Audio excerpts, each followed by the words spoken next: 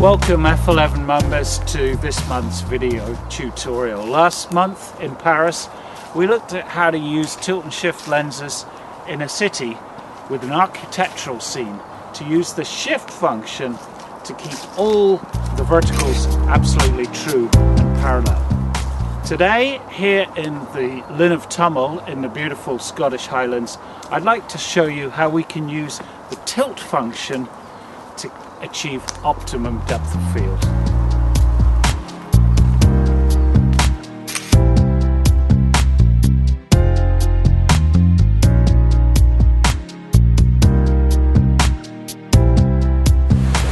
So here in the Linn of Tummel I've pieced together a picture which is probably not going to be the best I've ever shot but in terms of illustrating the use of a tilt shift lens it's perfect. I want this rock here just I don't know, about 10 centimeters from the front of my lens element. I want that as foreground interest, nice and sharp. I also want the, the waterfalls there in the middle distance sharp, and I want the hills in the distance sharp as well. I want that depth of field right through the picture.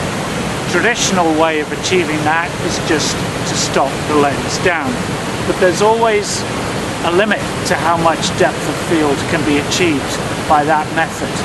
With a tilt and shift lens, we can achieve that kind of depth of field by using a little bit of drop tilt.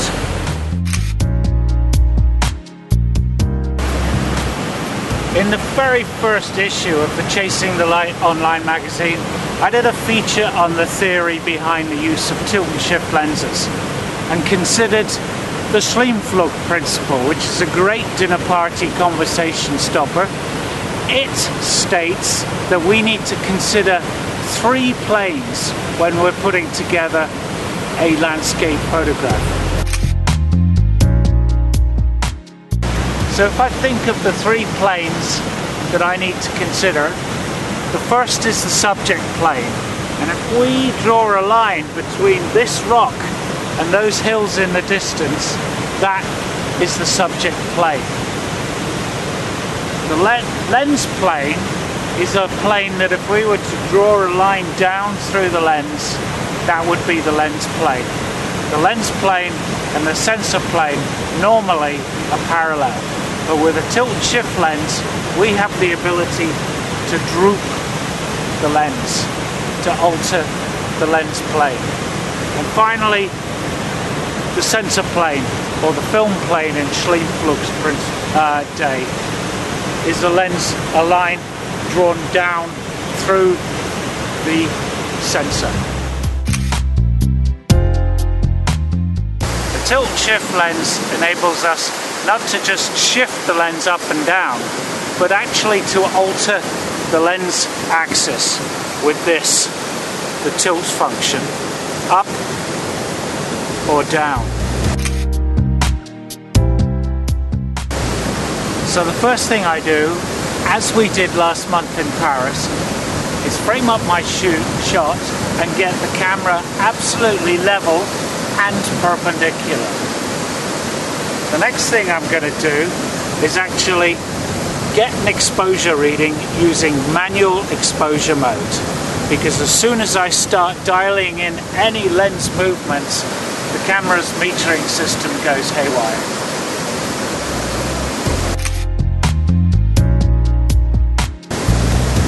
So I've set an exposure of a 30th of f11 in manual mode. I can always fine tune that subsequently, but that's a good starting point. So now what I need to do is to get the angle of view I want, and I want to look down to include this rock here in the foreground, but I don't want to angle the camera down like this because then by doing that the trees in the frame up the valley would all start to lean in on themselves. So I'm going to use the shift capability of the lens. Using live view here now and just shift the lens down until I get the angle of view I want. Now I've got my composition all sorted, uh, exposure set, Now what I want to do is determine how much tilt I need to use to get the depth of field I need for the picture. How much is the big question. We need to consider Scheimpflug's law. Scheimpflug states that if all three planes, the subject, lens and sensor plane intersect at the same point, we will have perfect happiness in our lives and optimum depth of field. So that means the sensor plane here is now completely perpendicular. So that's projecting down here to the rocks below. The subject plane is coming in from the hills there in the distance to this rock here and intersecting again down here at the rocks. So we need to dial in tilt so that the axis of the lens intersects at the same points. The thing is though, in practice in the field, it's not really that practical to start drawing these diagrams and calculating the intersection of planes. There's actually a far easier and more practical way of doing this.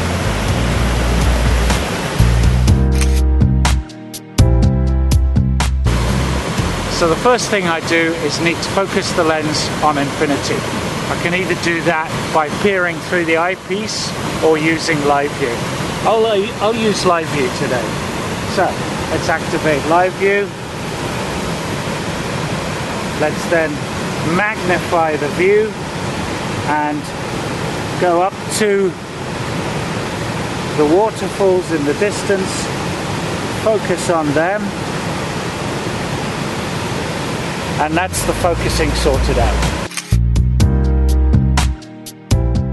So the next thing I need to do is dial in a bit of Concorde's nose, drop tilt to bring the foreground, these rocks here, into sharpness. And as I do that, looking at the screen in live view, I can see that foreground interest become sharp.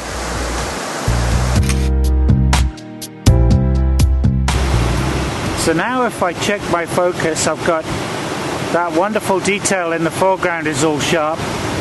The waterfalls in the distance are sharp as well. And the hills beyond. Often just a few notches of tilt here on this scale is enough to just bring in the depth of field I need for a landscape. Most people make the mistake of giving it too much. So now I'm good to go. So what I do is basically make a test exposure at a medium range aperture. I've got f11 here. And then just check that my depth of field is adequate. Battery's just run out the camera.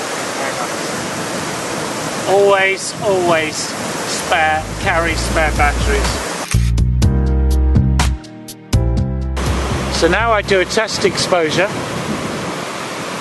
and now I'm just going to zoom in and test my sharpness right throughout the frame.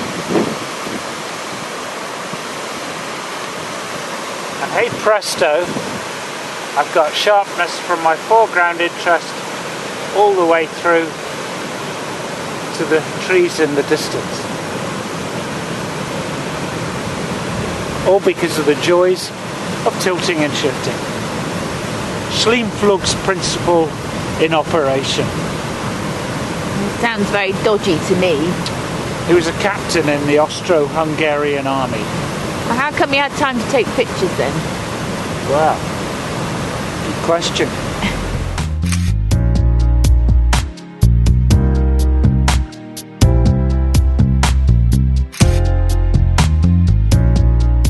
So let's just recap here. Get the camera absolutely level and perpendicular. Use shift to get the downward viewpoint that's necessary, or upward viewpoint for that matter. Focus on infinity. Expose manually. And then use droop tilt to bring the foreground into sharpness. It's as simple as that.